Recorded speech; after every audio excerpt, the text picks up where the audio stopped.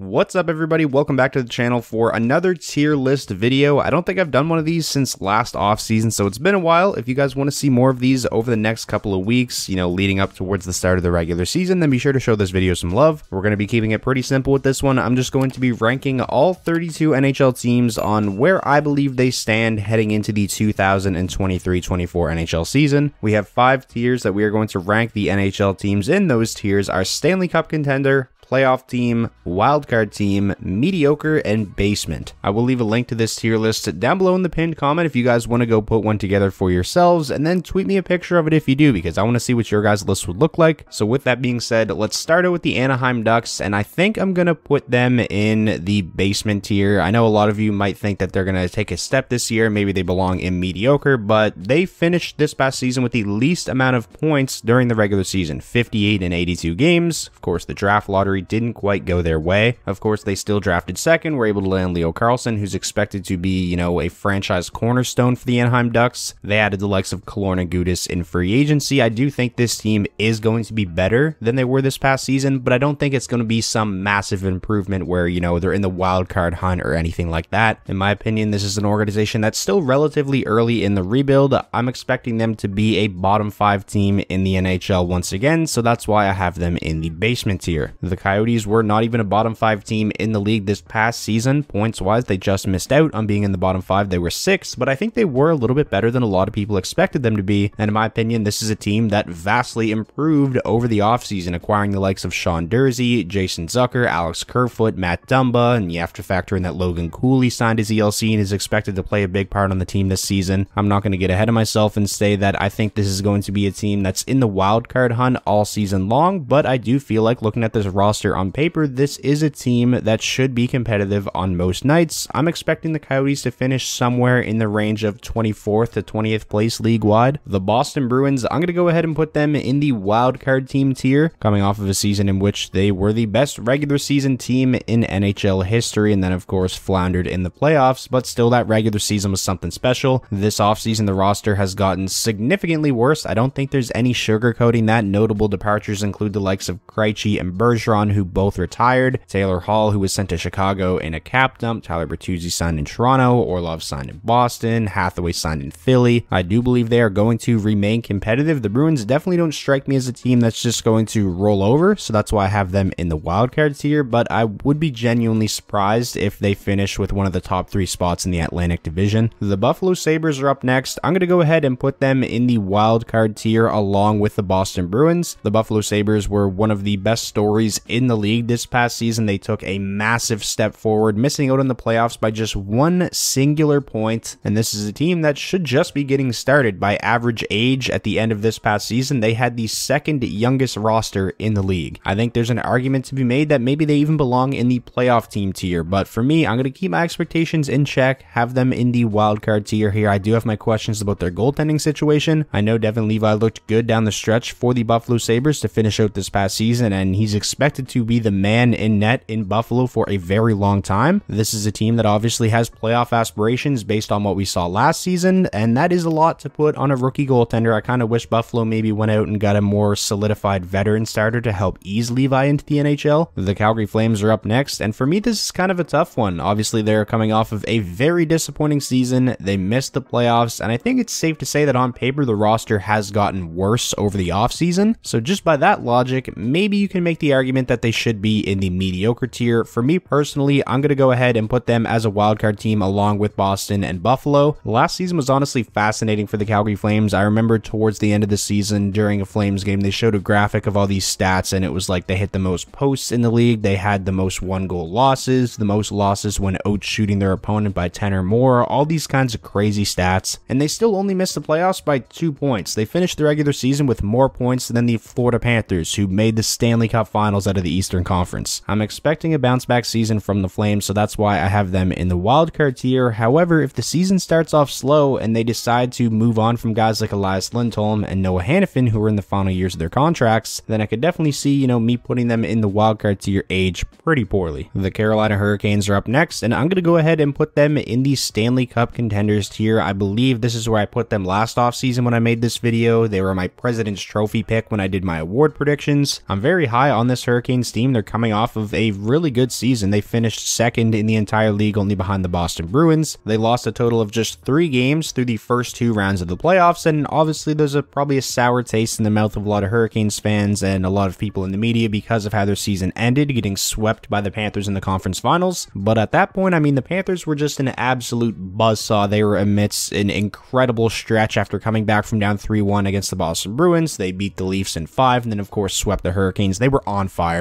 But getting back to the Hurricanes, I feel like they've had a fantastic offseason. They were able to re sign both their goaltenders in Antti Raanta and Freddie Andersen. You bring in a legit top six winger in Michael Bunting and a legit top four defenseman in Dmitry Orlov. They're also getting Svechnikov back, who's expected to be ready for the start of the season. I think Carolina is going to be a juggernaut this year. Definitely a Stanley Cup contender, in my opinion. Going from one extreme to the next. Next up, we have the Chicago Blackhawks, who are, in my opinion, the furthest thing from Stanley Cup contenders. They're going in the basement tier along with the Ducks. Yes, they have Connor Bedard, and they brought in Taylor Hall to play alongside Bedard, which I'm expecting to be a really fun duo, but still, that roster on paper looks awful. As much as I am expecting Connor Bedard to live up to the hype, I think he's the real deal, a franchise, you know, borderline generational talent. I don't care how good you are as a rookie, I don't think anybody is capable of carrying this roster to the playoffs. This is a team that's still, in my opinion, in the very early stages of their rebuild. Now, yes, getting a prospect the caliber of Bedard does accelerate a rebuild, but not by this much. They're not anywhere close to a playoff team. The Colorado Avalanche are up next. I'm going to go ahead and put them in the playoff team tier. I'm sure there's a good handful of people out there that would put them as Stanley Cup contenders, but for me personally, based on what I saw from them last season, I just can't do it. They lost in the first round to the Seattle Kraken. Sure, they had the star power advantage in that series, but Seattle just had so much more depth, and I do still expect depth to be a little bit of an issue for the Colorado Avalanche this season. Sure, they went out and got guys like Ryan Johansen and Ross Colton and Miles Wood, but they also lost some key pieces as well. JT Compher, Evan Rodrigues both left in free agency, same with Lars Eller. They traded Newhook to the Montreal Canadiens, but that's kind of what led to them getting Ross Colton, which I do believe is an upgrade. I just don't think you can say that on paper this is a team that got better during the offseason. They're going to be without their captain Landeskog again for the entirety of the season, so I'm kind of expecting them to have a year similar to the one that they just had. I don't put them up there, you know, with the best of the best in terms of legit Stanley Cup contenders at this point. Next up, we have the Columbus Blue Jackets. They're going to go in the mediocre tier for me. They were in the basement of the NHL this past season, finishing just one point ahead of the Anaheim Ducks for last place in the entire league. I really can't see them being anywhere close to as bad as they were this past season. They added the likes of Damon Severson and Ivan Provorov. They also drafted Adam Fantilli with the third overall pick. In the last two months, they've definitely made big strides towards being a much, much more competitive team. They also dealt with an abundance of injuries to key players this past season, so you have to imagine they're going to be a lot healthier this year, fingers crossed. I'm expecting to see a much improved Blue Jackets team from what we saw last season, but I wouldn't quite put them in that wildcard tier just yet. The Dallas Stars, definitely going to go ahead and put them in the playoff team tier along with the Colorado Avalanche. They were a top five team in the Western Conference this past season. The Stars certainly haven't had a very busy offseason. They lost Max Domi in free agency, but then made, in my opinion, one of the best free agent signings of the entire summer, signing Matt Duchene to a one year, $3 million deal. I'm fully expecting the Dallas Stars to be one of the better teams in the Western Conference again. The Detroit Red Wings are up next, and as much as I want to put them in the wildcard tier, I just don't think they're on the same level as teams like Buffalo, Calgary, or Boston. So I'm going to stick them in mediocre for now, but I would say it's like upper mediocre. I do think they are way ahead of teams like Arizona and Columbus. Up until pretty much a week, a week and a half before the trade deadline this past season, the Red Wings were in the thick of the wildcard hunt, but then of course they decided to move out Bertuzzi and Filip Hronek. You have to factor that in. Those guys aren't going to be there for the Red Wings at all this season, and sure, they made a lot of improvements during this offseason, DeBrincat being the biggest one, but this is a team that definitely still has a lot of holes. You know, top end elite talent being one of those holes, the potential of seeing D pairings like Ben Chiarot and Justin Holl and Shane Gostisbehere and Justin Holl scares the hell out of me. I also have my questions about the goaltending as much as I like Ville Husso, and he started off really well last season in his first year with the Red Wings, but he was very inconsistent. And when you look at his numbers as a whole on the year,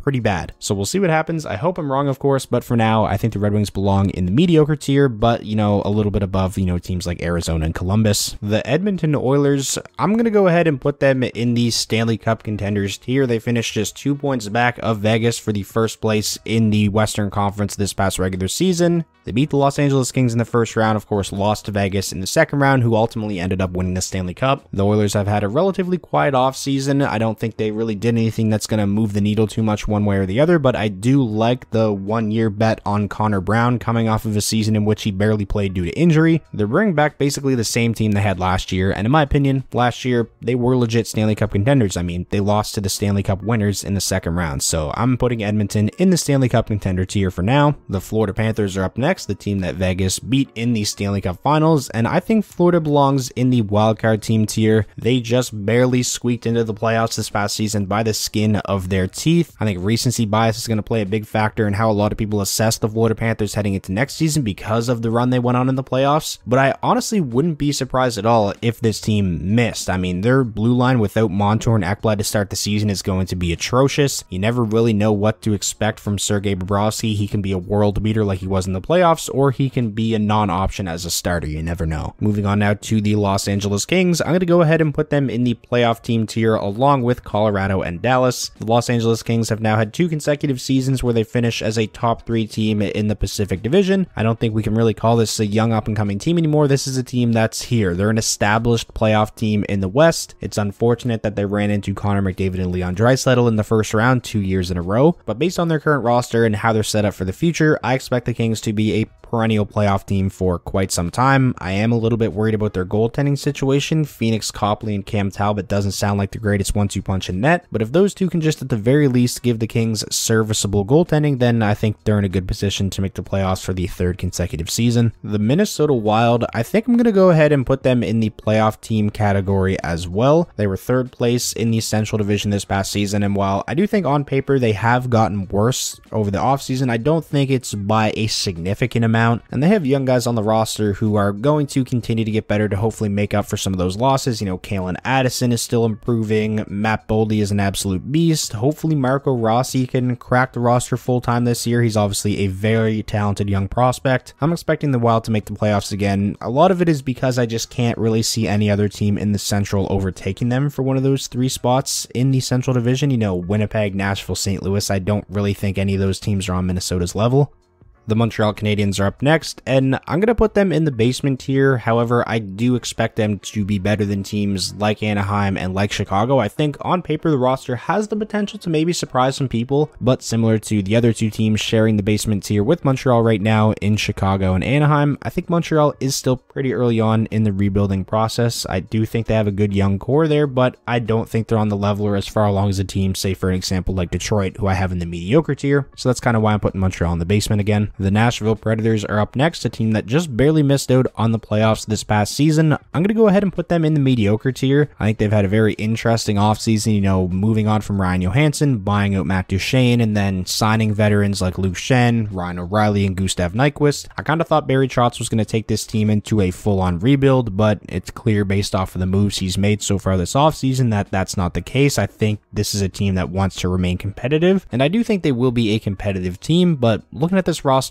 I just don't really view them as a legit playoff threat in the West. So that's why I have them in the mediocre tier. Next up, we have the New Jersey Devils. Maybe this is a little bit premature, but I am putting them in the Stanley Cup contenders tier. They are coming off of a massive breakthrough season where they finally came out of this rebuild and took that next step, not just to becoming a playoff team, but becoming a powerhouse. They had 113 points during the regular season, and despite the fact that they're a young team and most of that core was making their first playoff appearance together, they did not look afraid of the moment. They made relatively easy work of the New York Rangers in the first round. I know a lot of people actually picked the Rangers to beat the Devils in the first round, despite the fact that the Devils were the higher seed, myself included. Just can't say enough good things about this New Jersey Devils team, and they're just getting started. I also believe they've had a great offseason, you know, adding a top line winger in Tyler Toffoli. Guys like Simon Nemec and Luke Hughes are expected to push for roster spots next season. The Devils are really just getting started, and I think they're going to run the Eastern Conference for a long time. Next up, we have the New York Islanders, who made the playoffs this past season as a wildcard team, lost to the Canes in the first round. I'm going to go ahead and put them in the wildcard tier. I expect them to, you know, be in the wildcard hunt again next season, just like they were this past season. They haven't had a really busy offseason at all, didn't make any notable additions, didn't really lose anyone all that significant. I mean, Zach Parise scored 20 goals last year and he's yet to re-sign, but they're basically bringing back the exact same team. You're going to have Bo Horvat for the entire season as opposed from just the trade deadline, you know, into the playoff run. I think they have one of the absolute best goaltenders on the planet in Sorokin, so anytime you have him in net, you're going to have a chance to win. I'm fully expecting them to be in the wildcard hunt all year long. The New York Rangers are up next, and I'm going to go ahead and put them in the playoff team tier. Last year when I made this video, I had them as Stanley Cup contenders, but I only want to have two teams from each conference in the Stanley Cup contender tier, and as you can see, I already have two from the East in there in Carolina and New Jersey, so that knocks the Rangers down to the playoff team tier. I'm still expecting the Rangers to be a very good team, despite not having much cap space at all. They made some solid signings with what they had this offseason, you know, getting guys like Eric Gustafsson and Blake Wheeler for very cheap. In my opinion, the top three seeds in the Metro Division are set in stone, barring something drastic happens. I cannot see any other team in the Metro taking over, you know, New Jersey, Carolina, or New York for one of those top three spots. The top of the Metro Division is absolutely stacked, and the crazy part is I don't think any of those three teams in New York, New Jersey, or Carolina are going anywhere anytime soon. The Ottawa Senators are up next, and for me, I'm putting them in the wildcard tier. Where I'm at with Ottawa is I think they're in the same tier as the Buffalo Sabres in the Atlantic Division. I think both of those teams are slightly ahead of the Red Wings in terms of how far along they are in the rebuild and how close they are to being in contention. The Senators have a legit superstar in Tim Stützle. Their top six is fantastic. A lot of top end talent on that team. They have a three-headed monster on the blue line with Thomas Chabot, Jake Sanderson, and Jakob Chychrun. As long as Jonas Korpisalo can give them, you know, at the very least, average level goaltending, I'm expecting Ottawa to be right in the thick of the playoff race. The Philadelphia Flyers definitely going down in the basement here. They were actually a little bit better than I thought they were going to be this past season. I fully expected them to be in contention for that first overall draft pick. The Flyers are really just entering their rebuild. Danny Briere, in my opinion, in his first offseason as Flyers GM has done a really good job. Took a lot of steps towards, you know, really just tearing it down. Sent Kevin Hayes to St. Louis. They got out from under the Tony DeAngelo contract. In my opinion, Briere did really well in that Ivan Provorov three-team deal as well. This is a team that's gotten worse by design. I love the fact that they finally have some direction, and I feel like a lot of Flyers fans would agree with me on that. The Pittsburgh Penguins are up next, and I'm going to go ahead and put them in the wildcard team tier this past season. They missed the playoffs for the first time in, what was it, 16 years, I believe? But the Penguins just aren't going to roll over and enter a rebuild because they missed the playoffs after one year. Kyle Dubas, in his first offseason at the helm in Pittsburgh, has been very aggressive, bringing in guys like Ryan Graves, Reilly Smith, Lars Eller, and obviously the big one, Erik Karlsson in that massive trade. I'm super excited to watch Erik Karlsson on the same power play as the likes of Crosby, Malkin, and Guentzel. I think the Penguins could be a lot of fun. Don't think they're a playoff lock by any means, especially with, you know, how I said the top three teams in the Metro I feel like are set in stone with the Rangers, Devils, and Hurricanes, but at the very least, I think the Penguins definitely are going to be in the thick of the wildcard hunt. The San Jose Sharks,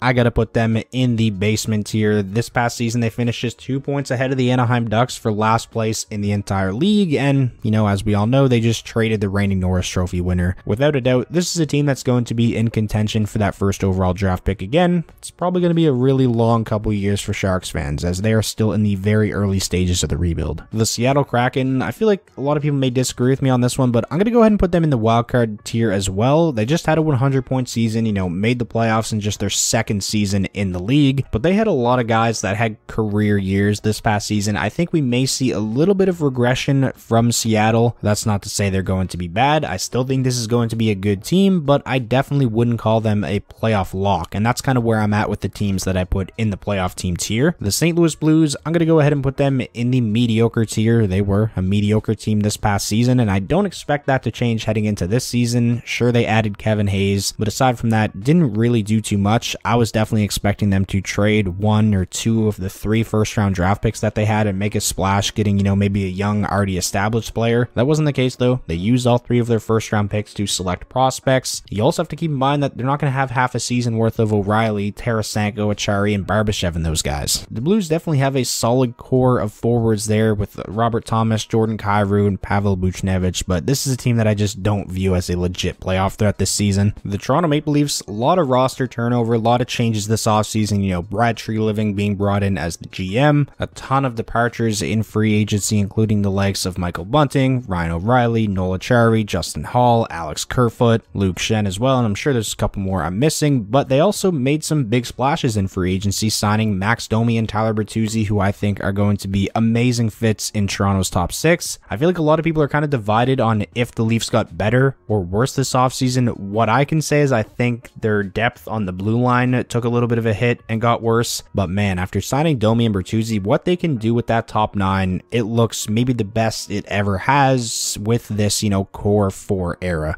Oh yeah, and by the way, I should have mentioned, I'm putting the Leafs in playoff team tier. Even if they did get a little bit worse this offseason, I don't think this is a team that's going to be in danger of missing the playoffs or anything. I'm expecting them to be probably the best team in the Atlantic Division. The Vancouver Canucks are up next, and for me, this is a little bit of a tough one. They were definitely mediocre this past season, but I think we're going to see a little bit of improvement. I'm going to put them in the wildcard tier. I think they're going to be at least in the hunt for one of those wildcard spots in the Western Conference. Not saying they're going to make it, but I think they're going to be in contention. I'm expecting a bounce back season from Thatcher Demko. I mean, he's too good not to. I feel like the Vancouver Canucks have made some sneaky good signings so far this offseason. You know, Teddy Blueger, Ian Cole, and Pius Suter. All three of those guys should help the Vancouver Canucks penalty kill, which was absolutely atrocious this past season. Moving along, we have the Vegas Golden Knights. I'm sure a lot of you saw this coming. They're going to be the fourth and final team I put in the Stanley Cup contenders here. I mean, it'd be kind of cruel not to put them there. They just won the Stanley Cup, and yeah, maybe they got a little bit worse this offseason, you know, having to move out Reilly Smith in a cap dump. But aside from Smith, they're bringing back basically the same roster that just won them the Stanley Cup. I don't see any reason why they aren't going to be a legit threat to win it again. The Washington Capitals are up next, and I got to put them in the mediocre tier. They were mediocre this past season, finished with just 80 points. They didn't do a ton this offseason to really make me think that they're going to get back into playoff contention. So when it comes to the Washington Capitals, they're definitely in the mediocre tier for me. And now finally finishing out the video with the Winnipeg Jets, who I am putting in the wildcard tier. They made the playoffs this past season as the second wildcard team in the Western Conference. Some pretty big changes for Winnipeg so far this offseason, buying out former captain Blake Wheeler, and then obviously the Pierre-Luc Dubois trade. And if you guys have been subscribed to the channel, even just for the past couple of months, and seen anything I've said on the Dubois trade or heard, sorry, then you probably know that I really like what Winnipeg did in that trade. I think they did well. This is a team that, in my opinion, especially since they haven't moved on from guys like Scheifele or Hellebuyck yet, should definitely still be in a position to compete for a playoff spot. So that is going to wrap up today's video ranking all 32 NHL teams heading into the 2023-24 NHL season. Like I mentioned at the start, there will be a pinned comment down below with a link to make one of these tier lists for yourself. If you do that, be sure to screenshot it and tweet at me. I want to know what your guys' list would look like. If you enjoyed this video and you want to see more tier lists as we head towards opening night on October 7th, I believe, then be sure to leave this video a like. That is the best way to let me know that you enjoyed. And lastly, if this was your first time checking out the channel and you want more NHL content just like this all year round, be sure to hit that subscribe button, and I'll talk to you all soon.